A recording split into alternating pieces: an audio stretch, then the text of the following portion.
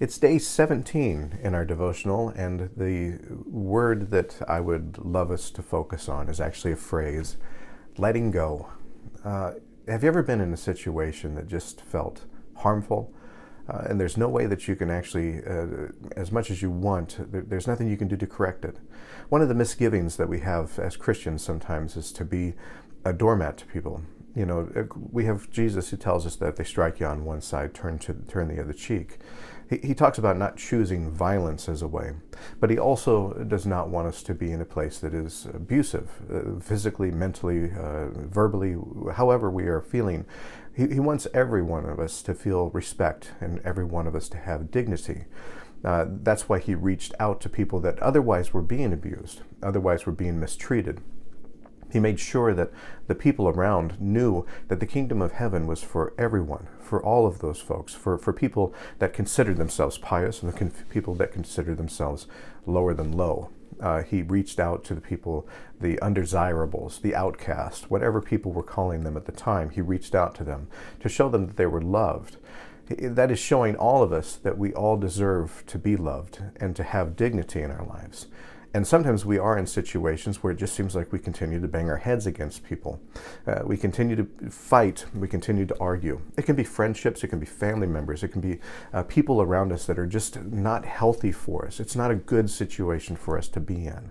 Uh, sometimes we're in situations where we're constantly dragged down, we're constantly being uh, made fun of, we're, we're, whatever the case may be. We just don't feel like we're being respected. And those are the times that we have to be able to acknowledge that it's not working, to turn away, and the healthiest thing for us to do is to let it go. Now, when we let things go, it not only means being able to walk away from a damaging situation, it also means uh, the times that we carry resentment, the times that we carry anger towards somebody, the times that we don't deal with that, and for years, sometimes just years and years, we remain uh, angry and f- focused, and the person that we've even walked away from still lives right here and controls our thoughts and our minds because we cannot let it go. And sometimes the best way to let that go is to be able to talk about it. Find people that we trust, find people that we love, that love us, that are healthy for us. Uh, express the things that we're talking about and be able to let that go. Christ is, doesn't want us to be in abusive situations, but he also doesn't want us to carry anger and resentment. Uh, he doesn't want us to carry those things.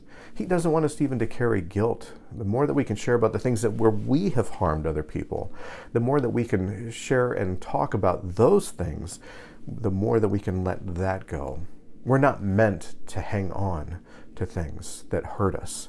We're not meant to let that uh, those those harmful things uh, burden us and drag us down. What we're meant to do is to be able to let that go and to continue our walk with Christ. I hope that whatever we're carrying, whether it's a, a, a relationship, a friendship, a, a, circumstance that we're in that is not healthy for us, whether it's a feeling that's holding us down, I hope that today we can focus on sharing it, talking about it, and letting it go. Love God, love yourself, and love your neighbor.